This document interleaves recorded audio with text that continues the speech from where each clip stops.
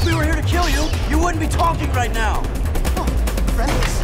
Oh, thank goodness. What? So, what? Where's the army? Uh, where it? What? Just you two?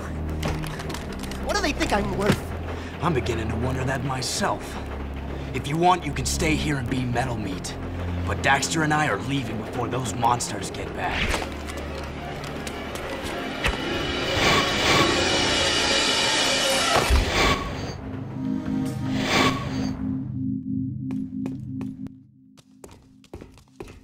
Hey, I want to thank you guys for saving my butt out there at the strip mine. And we'd like to thank you for being such a bad shot. Ah, yeah, sorry about that, guys. I'm a bit jumpy these days. Jumpy? We hadn't noticed. Ah! A metalhead behind you! Ah! What the? Who the? What? Ah! Just kidding. Nice reaction time, though. Not funny! Those metalheads have been attacking our mining operations, and we're running out of eco.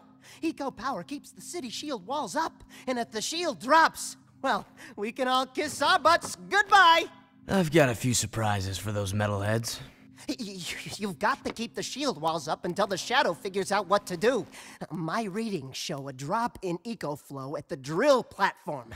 Probably some metalhead egg sucking away power.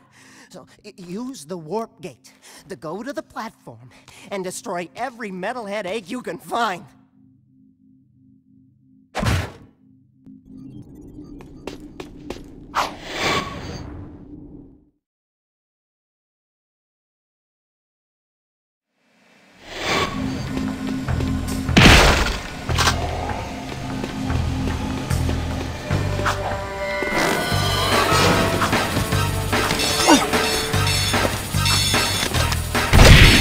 Uh.